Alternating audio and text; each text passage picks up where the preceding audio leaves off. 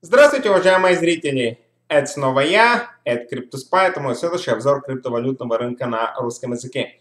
Итак, начинаем. Давайте посмотрим на котировки ведущих криптовалют согласно сайту CoinGecko. И здесь видно, что рынок зафиксировал маленькое снижение за последние 24 часа. Но я бы сказал, что практически ситуация не поменялась. И мы это сейчас, а, то есть имею в виду, нет разворота тренда. И мы сейчас это посмотрим на графике Uniswap или Uniswap. Я хочу напомнить, что в понедельник я анализировал ценовой график биткоина. Вчера я проанализировал Ethereum. Сегодня давайте мы проанализируем Uniswap. Эту криптовалюту я практически редко анализировал, поэтому думаю, что стоит обратить внимание. Она зашла в топ-10 совсем недавно, так что это достаточно интересная криптовалюта. Мы знаем, что это децентрализованный exchange, точнее DEX или протокол, который практически собрал уже больше 5 миллиардов в качестве ликвидности, то есть это очень большой успех для Uniswap и, конечно, для а, всего а, сектора децентрализованных бирж и, конечно, в частности, это является частью децентрализованных финансов. Итак, вот он график. 27 долларов, практически 81 цента за одну цифровую монету. График, видно, что сильно вырос, потом он начал двигаться в бок. Мы сейчас все это прокомментируем на разных таймфреймах. Итак, мы, как всегда, начинаем с месячного таймфрейма. До этого я, как всегда, убираю все вот эти лишние элементы. Хочу напомнить, что сегодня последний день месяца, так что свеча подходит к своему концу, но она может и поменяться в последние практически э, несколько часов.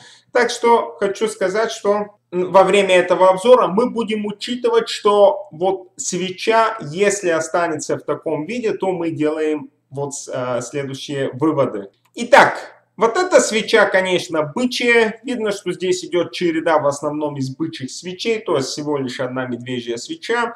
То есть бычьи свечи, у которых локальные минимумы повышаются, также локальные максимумы, то есть это бычий тренд. Конечно, последние свечи за февраль и за текущий месяц март имеют большие верхние тени, то есть, как и на других графиках, мы делаем вывод, что да, График идет вверх, быки практически это бычий тренд, но быки сталкиваются с сопротивлением, так что мы должны, то есть быки должны быть очень аккуратными. Сопротивление по пути роста, оно достаточно сильно и периодически появляется, но тренд остается растущим. Переходим к недельному таймфрейму. Вот он практически а, график, в основном бычьи свечи. Здесь попытка бычьего поглощения, которая не осуществилась. Вот она практически здесь. После этого график пошел снова вверх. И сейчас хочу посмотреть и точнее прокомментировать вот эти последние свечи. Здесь практически маленькие свечи, которые пошли в бок. Потом, на прошлой неделе сформировалась очень интересная свеча. Вот эта медвежья свеча. Она поглотила тело вот этой бычьей свечи и предыдущие свечи. То есть, по сути, это медвежье поглощение. Тем более, что ее локальный минимум упустился ниже предыдущих. То есть, это потенциально разворотный сигнал, если подтвердится на следующей неделе, то есть получается на текущей неделе, потому что вот сейчас рисуется вот эта маленькая свеча здесь.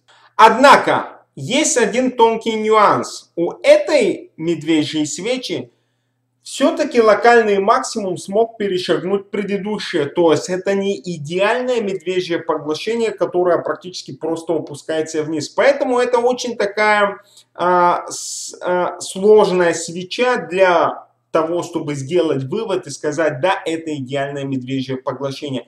Так что, по сути, медвежий сигнал есть, но он остается под сомнением, потому что вот эта локальная вершина, она смогла обновить предыдущие локальные вершины. Итак, переходим к дневному графику. Кто знает, может быть это начало некой консолидации. Давайте сейчас посмотрим на график. Если посмотреть на линейный график, Здесь простым глазом видно, что впадины идут вверх, вершины идут вверх, то есть это бычий тренд. Без сомнения, это бычий тренд.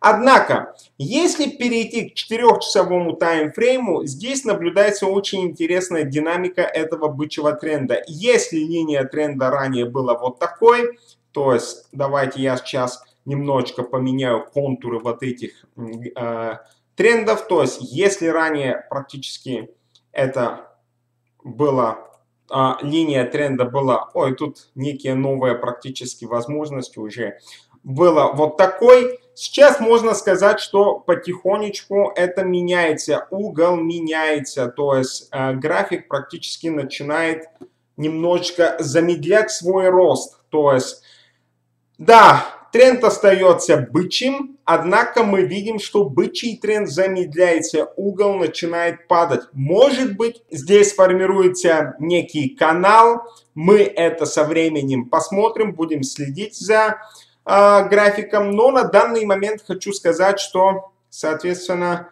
э, пока еще видно, что тренд идет вверх. Сейчас если вернуться к дневному таймфрейму, то есть на 4-часовом таймфрейме, моя цель была показать, что тренд остается растущим, однако угол начинает меняться, и, соответственно, он говорит о замедлении практически роста, о замедлении тренда. Итак, на дневном таймфрейме, что хочу сказать, я сейчас уберу вот эти линии и хочу здесь показать, что а, или давайте оставим одну из этих линий, может быть вот эту линию. И соответственно хочу добавить скользящее среднее. То есть если мы добавим 30-дневную скользящую среднюю и 90-дневную, то есть это месячная и трехмесячная на дневном таймфрейме, они нам покажут и где ключевые уровни поддержки. Вот она 30-дневная. А, вот сейчас мы настроим и трехмесячную.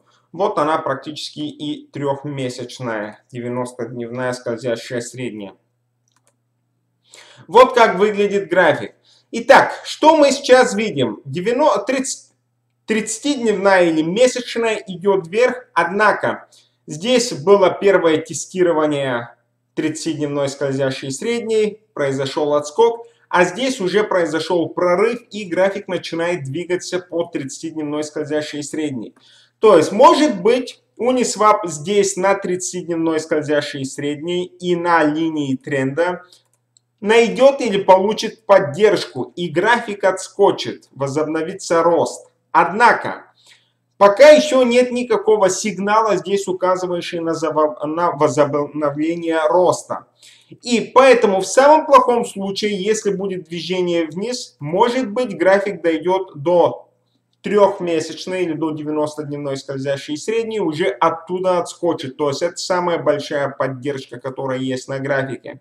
То есть я вижу вот этот сценарий как самым негативным на данный момент, поэтому я его убирал, потому что пока еще тут очень много факторов или технических индикаторов, которые могут поддержать график и возобновить рост от текущего уровня. За этим мы будем следить. Единственное, хочу сказать, что тренд остается растущим на всех ключевых таймфреймах. На weekly мы увидели, что есть такой медвежий сигнал, однако он остается под сомнением.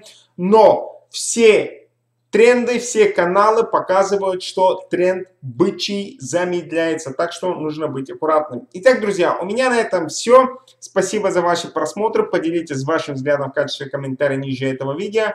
Я вам всем желаю удачи на финансовых рынках, здоровья и до следующего обзора. С вами, как всегда, в это время был Эд Криптоспа.